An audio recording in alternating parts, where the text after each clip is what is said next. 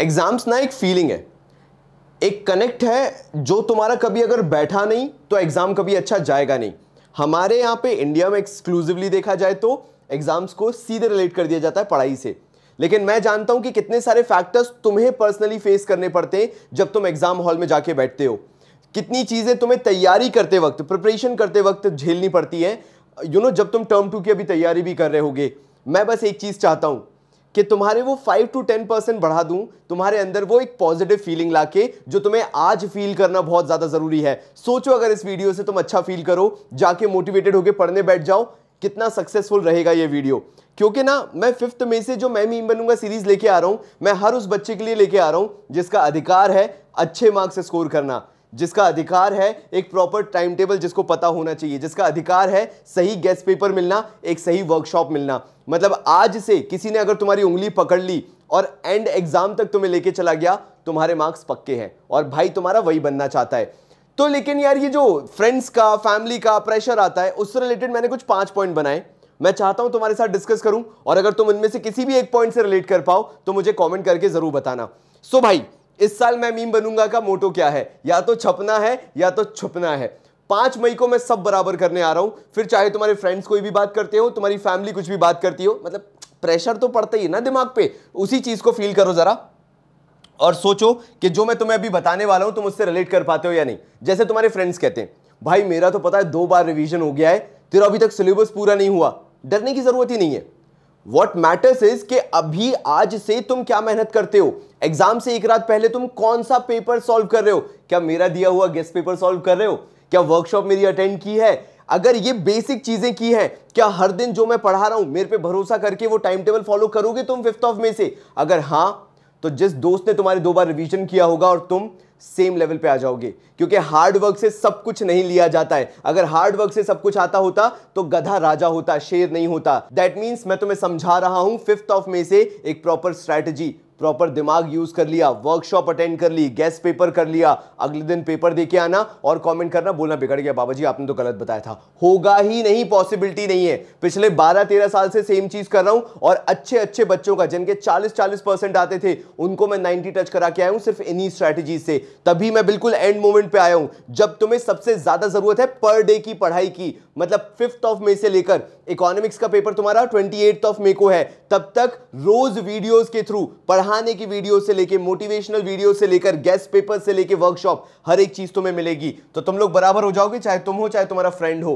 Pre boards में friend ने ज़्यादा स्कोर कर लिया। क्या फ़ायदा हो गया? अगर प्री बोर्ड में ज़्यादा स्कोर हो भी गया और बोर्ड्स में नहीं आए तो, तो लंका डूब गई ना। सब बराबर हो गया। जितनी मेहनत की थी जितना रिवीजन किया था सब ले गया। एक ही जगह पर रह गया सब। नहीं, कोई फ़र्क नहीं पड़ता प्री बोर्ड से। अगर उसने स्कोर कर भी लिया है, उसको बोलो, भाई, तेरे लिए बहुत अच्छी बात है। मैं नहीं कर पाया, लेकिन अब मेरे साथ भैया हैं, कॉमर्स बाबा है, और मैं फोड़ के दिखाऊँगा इस बार बोर्ड एग्ज़ाम्स में, क्योंकि मेरे पास टाइम टेबल है, क्योंकि मेरे पास हर दिन का डेली कॉन्टेंट है, क्योंकि मेरे पास वर्कशॉप है, क्योंकि मेरे पास गेस्ट पेपर्स है। फिर आ जाते हैं थर्ड पॉइंट पे। I have no one to guide और टीच ये सबसे बड़ा फैक्टर है, जिससे फाइव टू टेन परसेंट तुम लूज करते हो। कोई गाइड करने वाला नहीं, कोई टीच करने वाला नहीं, पढ़ाने वाला नहीं, है ना? और जो दूसरे तुम्हारे दोस्त हैं, भैया, वो तो स्पेशल अपने फेवरेट बने बैठे टीचर के, तुम्हारे पास कोई नहीं बचा। तो मैंने बोला तो मैं हूँ तुम्हारे लिए, मैं तुम्हें गाइड कर रहा हूँ, हर वो बच्चा जो ये फील करता है कि उसको कोई बताने के लिए नहीं है। मैं बस तुमसे ये कह रहा हूँ, कुछ नहीं मांग रहा, सिर्फ़ यूट्यूब पे आओ, मैं नहीं बोल रहा लाइक करो। यार, मैं बस इतना कह रहा हूँ कमेंट करके अपनी स्टोरी बताओ। मुझे जानना है कि तुम्हारे अंदर क्या फीलिंग है।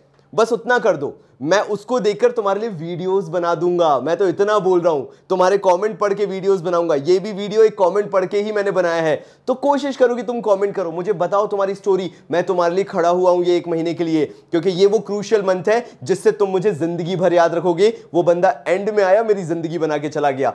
फिर आते हैं फोर्थ पॉइंट पे। माँ बाप दोस्त का एग्ज़ाम्पल देते रहते हैं पढ़ने का। फिर मन ही नहीं करता। एग्जैक्टली पॉइंट यही है। तुमने अपने दिमाग में क्या बना रखा है? तुम तो माँ बाप के लिए पढ़ रहे हो। तुम तो दोस्त मोहल्ले के लिए पढ़ रहे हो। तुम ये नहीं समझते हो, तुम किसी के लिए नहीं पढ़ रहे, तुम हर रोज जो पढ़ाई कर रहे हो, वो अपने आप को एक बेटर पर्सन एक बेटर इंसान बनाने के लिए कर रहे हो। सारे ऑर्ड्स के अगेंस्ट में जाके इतनी मेहनत कर रहे हो। कोई डिमांड नहीं है तुम्हारी। घर पे रहते हो, किताबें खोल के पढ़ते रहते हो, कोई ऐसी बहुत सोशल लाइफ नहीं है तुम्हारी। सिर्फ़ तुम मेहनत करना जानते हो। सोचो, उस अगर मेहनत का एक पॉजिटिव रिज़ल्ट निकाल लिया, तुम हर बार एक नेगेटिव सिचुएशन से पॉजिटिव इंसान बन के निकलोगे। कितनी अच्छी बात है यार, कितनी अच्छी बात है। आज तुम्हारे माँ बाप अगर तुम्हें लगता है कि तुम्हारे अगेंस्ट है, नहीं, वो तुम्हें सिखा रहे हैं कि ये दुनिया बहुत जालिम है, हम तो बहुत कम जाति कर रहे हैं तुम पे। बाहर निकलोगे, यही सब कुछ भरा पड़ा हुआ है। So take it in a positive manner take it in a very good manner कि अगर तुम्हारा दोस्त तुमसे आगे है तो तुम्हें फ़िक्र होनी चाहिए। क्योंकि दौड़ लगी हुई है। भारत में गरीबी देख लो कितनी है। इस दौड़ में अगर पीछे रह गए तो पीछे ही रह जाओगे। आज घर के कंफर्ट में हो, अपना बेस्ट दो, कोई तुम्हें नहीं रोक सकता। फिर आ जाते हैं फिफ्थ पॉइंट पे। दोस्त ने तो तीन चार बार सैंपल पेपर भी कर लिए। सैंपल पेपर भी करके बैठ गया तीन चार बार। क्या फ़र्क पड़ गया? क्या फ़र्क पड़ गया? ऐसा कुछ बहुत खास फ़र्क पड़ गया हो तो मैं भी जान लू। नहीं होता कुछ भी। मैं भी टॉपर रहा हूँ। मेरे स्टूडेंट्स भी टॉपर रहे हैं। और जितने टॉपर्स रहे हैं, जितनों ने मेरी बात मानी है, ध्यान से सुनना, मैं तुम्हारी आँखों में देख के बात कर रहा हूँ। जितनों ने भी मेरी बात मानी है, जितनों ने भी मेरी बात सुनी है, मैंने हमेशा उन्हें यही बोला है, दो सैंपल पेपर से ज़्यादा करने नहीं है। मैक्सिमम चले जाओ तो तीसरा। फिर से बोल रहा हूँ, दो सैंपल पेपर से ज़्यादा करने नहीं है मैक्सिमम चले जाओ तो तीसरा। जो इन तीन से ज़्यादा करता है, उसके मार्क्स नेगेटिव में जाने लगते हैं मतलब गिरने लगते हैं। वाई बिकॉज़ उसने अपने ब्रेन में कंफ्यूजन क्रिएट कर लिया है। वो अपनी स्टडीज़ को ट्रस्ट नहीं कर रहा। दो बार रिवीजन कर लेना। तीन बार रिवीजन कर लेना, ये शो करता है कि तुम्हें खुद की पढ़ाई पे भरोसा नहीं है।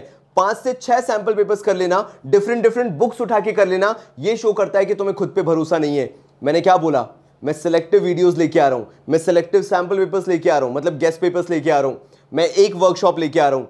एंड मुझे मेरे कंटेंट पे, मेरे पढ़ाने पे, मेरी कंसेप्चुअल बिल्डिंग पे इतना भरोसा है कि उसी में से आएगा। मैं तुम्हें बोल ही नहीं रहा कि हज़ारों चीज़ें करूँ। तो जो हज़ारों चीज़ें करके बैठा है, जब उसे खुद की पढ़ाई पे भरोसा ही नहीं है, ध्यान से सुन रहे हो कि नहीं तो वो कैसे स्कोर कर लेगा? देर इज़ नो वे वो सामने वाला बंदा स्कोर करेगा। तो वहीं पे तुम्हें फ़ायदा उठाना है, तुम्हें कमज़ोरी पकड़नी है। मतलब यही यही चाहिए ना, शेर शिकार करता है, एक बार करता है, बड़ा करता है, दिन भर की फुर्सत हो जाती है। वो गली मोहल्ले में नहीं फिरता है कि इतना से खा ले फिर इतना से खा ले, नहीं, शेर बनो, एक बार शिकार करो और फोड़ दो। और तुम्हें भी वही करना है। मैं क्यों नहीं तुम्हें हज़ारों वीडियोस देके परेशान कर रहा? मैं क्यों कह रहा हूँ फिफ्थ ऑफ़ में से आऊँगा सिलेक्टिव वीडियोस दूँगा, तीन पेपर दूँगा गेस्ट पेपर्स दूँगा और वर्कशॉप दूँगा, काम खत्म हो जाएगा। कंपेयर कर लेना जब एग्ज़ाम्स हो जाए तो कि क्या इतने कंटेंट से भी वही पढ़ाई हो सकती थी जो इतने कंटेंट से एग्जैक्टली exactly हो सकती थी? और वही तुम्हें करवाने आए उसको स्मार्ट वर्क करो, ना कि हार्ड वर्क गधे मत बनो, शेर बनो। और लास्टली मैं बोलना चाहूँगा कि भैया सोल्यूशन मैं तुम्हें दे रहा हूँ। फिफ्थ ऑफ़ मे से मैं मीम बनूँगा सीरीज़ लेके आ रहा हूँ। तुम्हारे पास वीडियोस आया करेंगे सुबह आठ बजे, शाम को पाँच बजे और फिर शाम को सात बजे। इसमें हम कवर करेंगे थ्योरी क्योंकि स्मार्ट वर्क स्मार्ट वर्क ज़रूरी है। इसमें हम कवर करेंगे अकाउंट्स मतलब प्रैक्टिकल क्योंकि इसका कॉम्बिनेशन का कोई तोड़ ही नहीं है। सुबह कर लो प्रैक्टिकल शाम को कर लो थ्योरी सुबह कर लो प्रैक्टिकल शाम को कर लो थ्योरी इसका आज तक कभी तोड़ नहीं निकला है। तो स्मार्ट वर्क करना है। दिमाग चलाना है। गधा हमाली नहीं करनी है।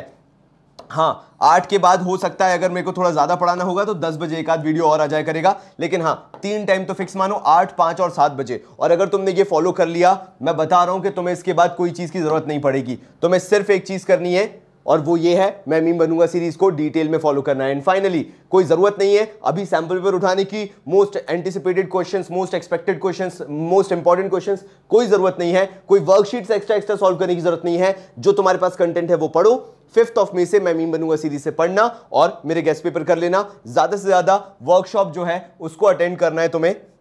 Don't forget to attend the workshop day before exam एक दिन पहले एग्ज़ाम से एक दिन पहले वर्कशॉप होगी।